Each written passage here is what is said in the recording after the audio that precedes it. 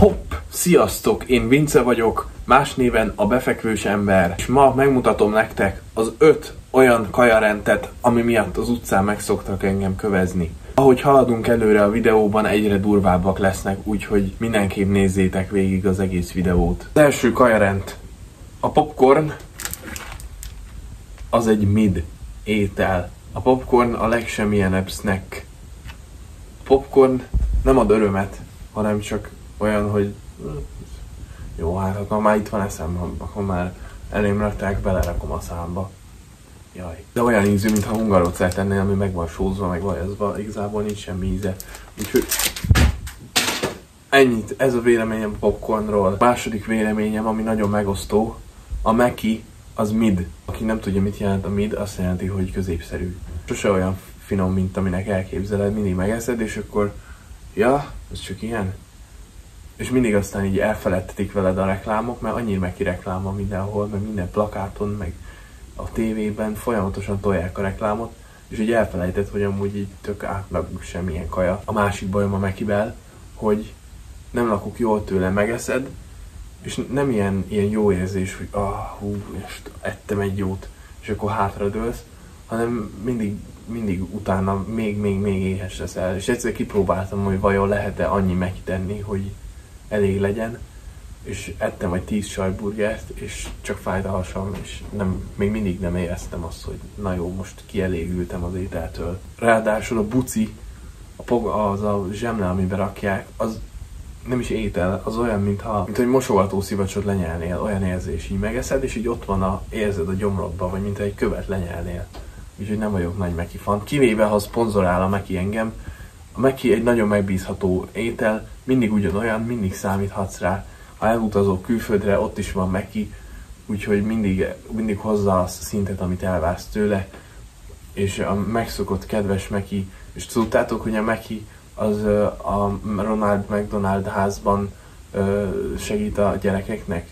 Meki légy szíves szponzorálj engem. A harmadik, a vegán ételek, amik próbálnak valamelyik más nem vegán ételre hasonlítani, például vegán hamburger, meg vegán girosz, meg vegán sonka. Annyiféle ételt lehet csinálni hús nélkül, ami finom. Két nap ettem sült zöldségeket, édesburgonyát, meg ilyenek. Nagyon finom volt, és jól esett nekem.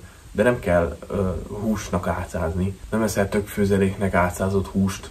Nem készíted el úgy a húst, hogy tök főzeléknek nézzen ki. Akkor a hamburgert miért akarod úgy elkészíteni, mintha hús lenne? Akkor egyél valami más. Annyi végtelen étel van, bármi tehetsz. Sok étel van, amit el lehet készíteni hús nélkül, és nagyon finomak nem kell egy húsos ételt elkészíteni, csak a hús helyett valami répa, darálmágy, meg semmi értelme. Az egyetlen értelme az, hogy ha valaki vegán, vagy rendszeres étteremjáró, akkor kipróbálja, hogy ó, ez a Rebel Whopper milyen lehet vajon? Kipróbálom már, és megeszi, és azt mondja, hogy eh.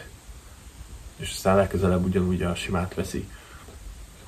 Vagy hogyha kényszeredetten el kell menned valahova, mert a barátaid oda mennek, és akkor muszáj ott tenned, mert közösségi élmény, és akkor megértem, hogy miért van vegán opció. De ha valaki vegán, akkor meg miért akar húsnak álcázott ételeket enni? Ez olyan, mint ha homoszexuális lennék, de olyan fiúkkal lennék, akik úgy néznek ki, mint a lányok. Hát akkor semmi értelme nem volt. Aki meg azt mondja, hogy biztos vannak, akik elkölcsi okokból nem esznek húst, de szeretik az ízét, akkor egyél húst. Ha szereted az ízét, azért szereted az ízét, mert jót tesz neked a hús, mert jól esik akkor meg ne tagad le, hogy jól esik a hús, és ki akarsz harapni egy darabot egy kis bociból, akkor vald be, hogy én egy húslevő ember vagyok, levadászom a tőlem gyengébb állatokat, és elfogyasztom őket, mert tápanyagban gazdag étel.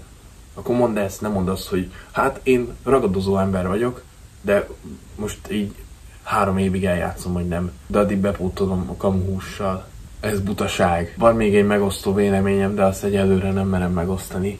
Úgyhogy a negyedik, amikor mindenféle fűszer helyett inkább túl sok sót raknak a kajába. Bro, nem 1916-ban élünk, hogy ne legyen fűszer. Van fűszer, bemész a boltba és veszel fűszert. Ki nem mély szegénységben él, azon kívül mindenki megengedheti magának, hogy vesz borsot, meg paprikát, és nem sóval kell kipótolni. De nagyon sokan megszokták, hogy hát így, így van a recept, meg így szoktam, meg jól lakat. A só lakat jól. Az lakat jól, hogy dehidratálódsz az étel lakhat jól, meg az adja az ízt, nem a só. próbáld ki egyszer, kedves kommunizmusban ragadt néző, hogy fel annyi sót raksz egy ételbe, és a többi fűszerből másfélszer annyit. Figyeld meg, hogy sokkal finomabb lesz. És utána nem érzed azt, hogy három óráig le kell feküdnöd, meg meginni másfél liter vizet azért, mert ebédeltél. Ezt nem muszáj érezni, ezt az érzést.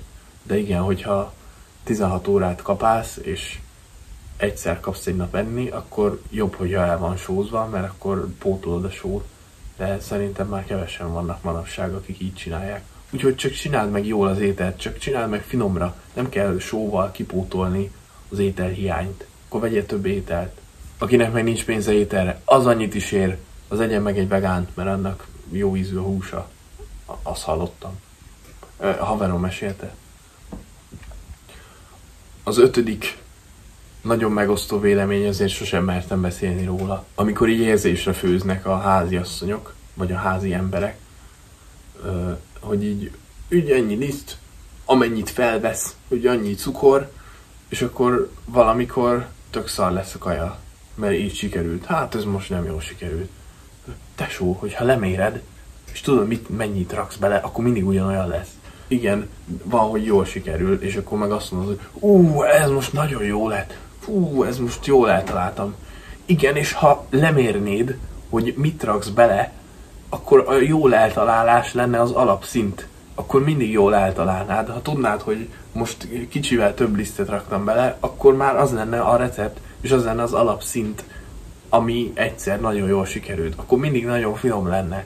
Gondolkozzatok már emberek, ébredjetek már fel, viszont azért hagytam hátulra, mert ha egyszer kitalálod a tökéletes receptet, akkor utána már elveszi a főzés örömét, már nem, nem lesz ilyen felfedezés, meg intuíció, hogy ó, oh, mi, le, mi van, ha most ezt csinálom, hanem már megtaláltad a tökéletest, és akkor már csak azt kell követni. Úgyhogy ez, ez sokaktól elveheti a főzésnek az örömét. De azért egyszer kipróbálhatnád, hogy mi van, ha mindig tökéleteset csinálsz. Nektek mik az illegális kaja véleményetek? Írjátok meg kommentben. És azt is, hogy még milyen videót látnátok szívesen. Találkozunk legközelebb. Sziasztok! Bye.